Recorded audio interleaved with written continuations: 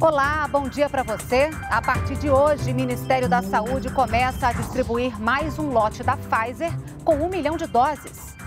Fabricação de vacina da Fiocruz totalmente nacional começa este mês. E a Agência Brasil completa hoje 31 anos. Segunda-feira, 10 de maio, o Brasil em Dia está no ar.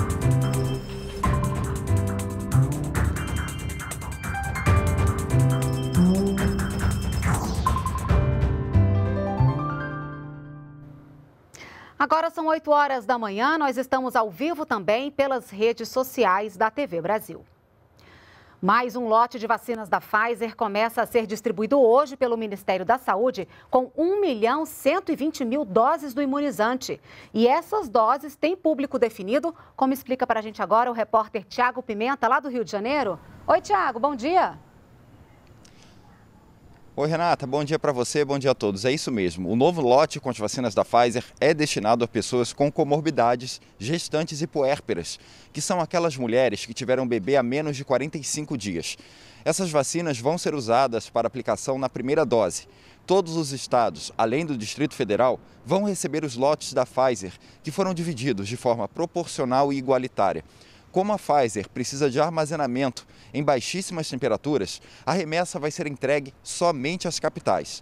De janeiro até hoje, mais de 75 milhões de doses de imunizantes, incluindo esse novo lote, foram distribuídos. Cerca de 47 milhões de doses já foram aplicadas. E na sexta-feira, a Fiocruz anunciou que deve começar a produzir, ainda neste mês, o IFA, a matéria-prima da vacina. A expectativa é que as primeiras doses produzidas com tecnologia 100% nacional sejam entregues em outubro.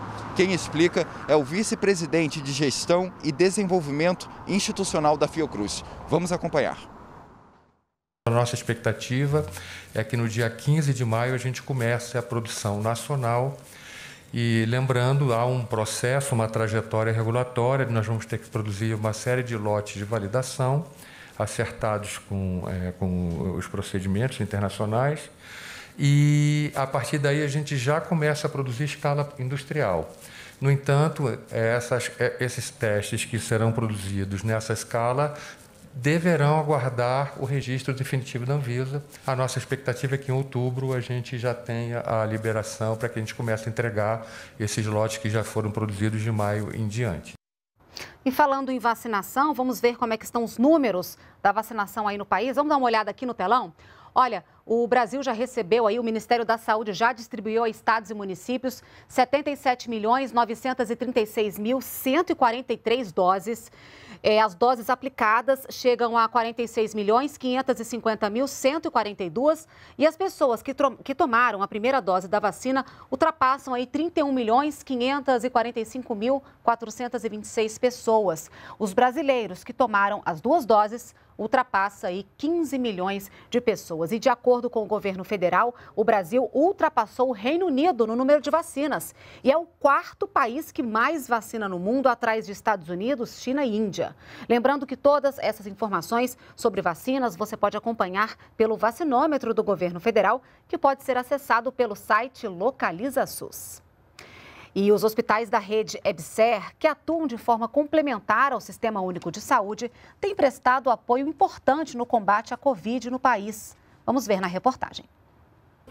Mais de 10 mil pacientes suspeitos ou confirmados de Covid-19 atendidos na rede de hospitais universitários públicos federais do país se curaram da doença e tiveram alta. A informação é da Empresa Brasileira de Serviços Hospitalares, EBSER, vinculada ao Ministério da Educação, que administra 40 hospitais universitários federais. Quando começou a pandemia, a rede teve sua capacidade aumentada em 40%. O Ministério da Educação disponibilizou 944 vagas de enfermaria e 517 de UTI. Um ano depois, já são 1.283 leitos de enfermaria e 783 de UTI, uma ampliação de 605 vagas. Para a médica Jéssica, que está na linha de frente, é preciso dedicação. A gente precisa de profissionais, são mais leitos que estão abrindo o tempo todo porque mais pessoas precisam da UTI. Ter o nome da mãe e do pai na certidão de nascimento é um direito de todo brasileiro. Mas 6 milhões de pessoas não têm a paternidade registrada. Agora, uma nova lei permite que seja feito o teste de DNA do suposto pai e também dos parentes dele.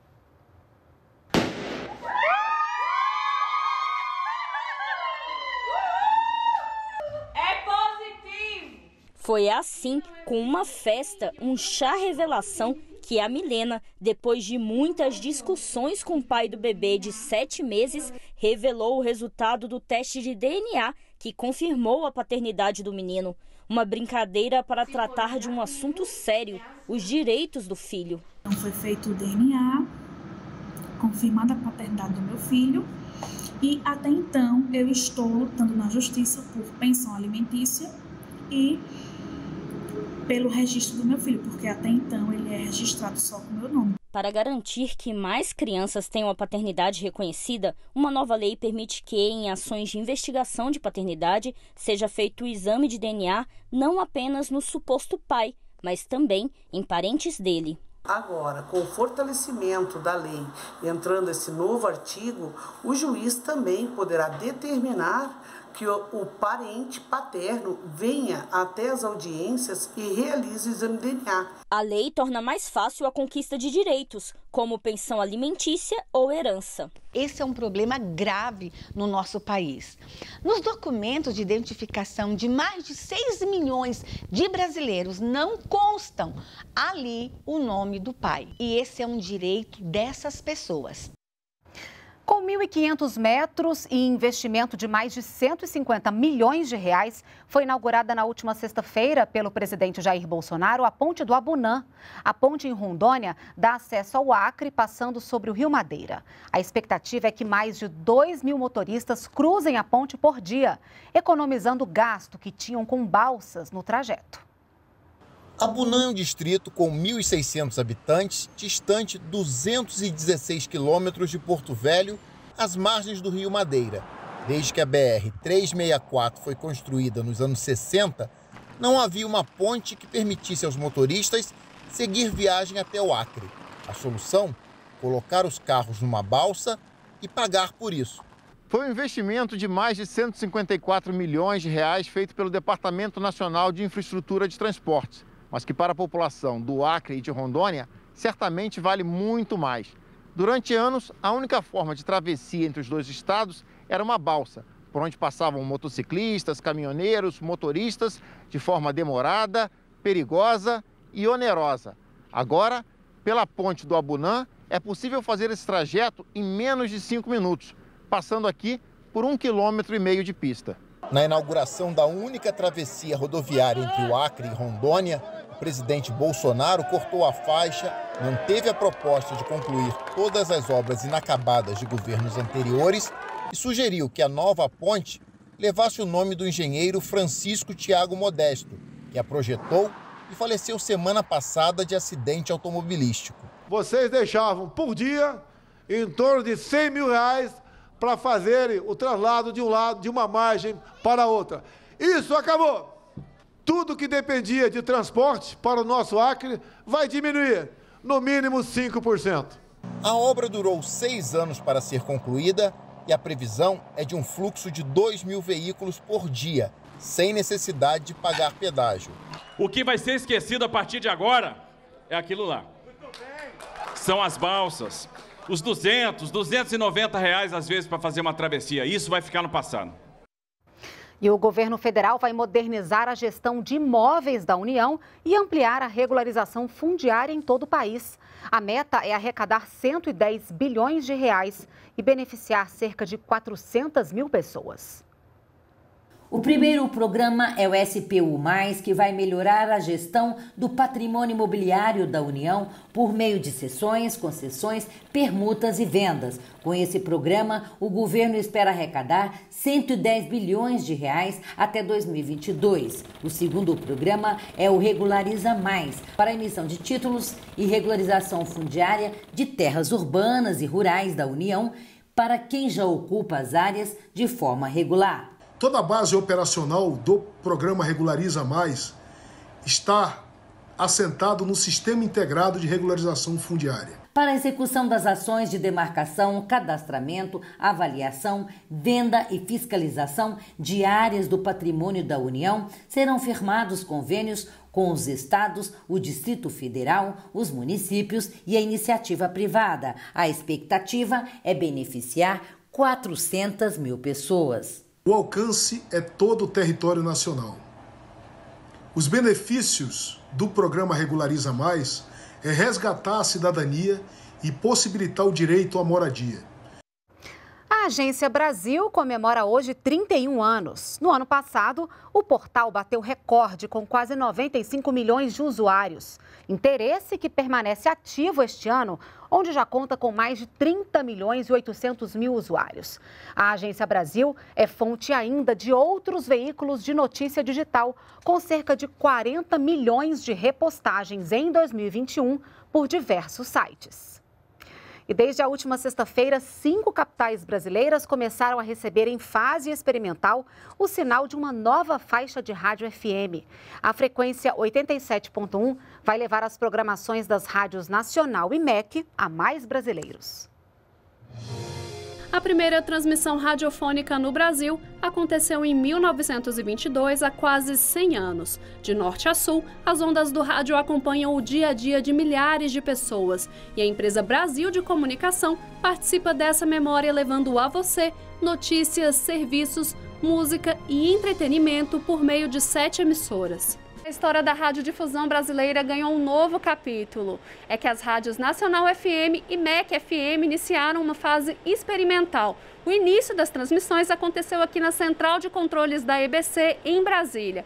Pelos próximos 60 dias, será possível sintonizar a 87.1 FM por aqui e também no Rio de Janeiro, São Paulo, Belo Horizonte e Recife, com menor custo e uma melhor qualidade do sinal a partir da sintonia 87.1 MHz definida pelo Ministério das Comunicações, a programação da Rádio MEC com música clássica chegará a Brasília e na frequência FM do Rio de Janeiro. E as outras três capitais receberão uma nova programação que mescla programas tradicionais das rádios Nacional e MEC. O som de FM é reconhecidamente um som de melhor qualidade, então a pessoa tem acesso à programação de rádio com uma qualidade melhor, né, mais bonita é um som estéreo, é um som de qualidade de CD. Rádio Nacional. E as vantagens não param por aí. A ampliação da frequência FM abre espaço para outras emissoras. Com a ampliação da faixa FM em 12 MHz, teremos mais 60 canais de rádio atendendo a uma antiga reivindicação de todo o setor de radiodifusão. E o objetivo com a banda estendida é chegar a todos os estados brasileiros até 2023. A gente fez uns investimentos esse ano colocando a rádio na TV, a Rádio Nacional na TV, a gente uh, melhorou a Voz do Brasil, a gente fez investimento no estúdio na Voz do Brasil, a gente tem uh, ondas curtas para a Amazônia, então a gente continua uh, acreditando que rádio é uma plataforma que a gente tem que investir, faz parte dos objetivos estratégicos da IBC. Mais cidadania, né? E olha, o Brasil em Dia fica por aqui. A gente encerra essa edição com imagens do passeio de moto em homenagem ao Dia das Mães em Brasília. O presidente Jair Bolsonaro e centenas de motociclistas saíram do Palácio da Alvorada e percorreram os principais pontos turísticos da capital federal. Para você, uma ótima semana. Nos vemos amanhã. Até lá.